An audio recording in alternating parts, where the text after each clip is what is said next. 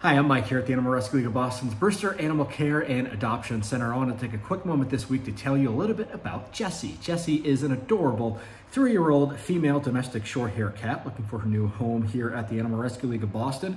Now, she was part of a transport of cats from Texas. Now, she has beautiful markings, piercing eyes, and she is an absolute love. She's very friendly, sweet, and affectionate, and also very focal. Now, she wants to be the center of attention, and she definitely has that lap cat potential and sure to fit into any new home seamlessly. For more information about Jessie or any animal for adoption here at the Animal Rescue League of Boston, you can just log on to our website at arlboston.org.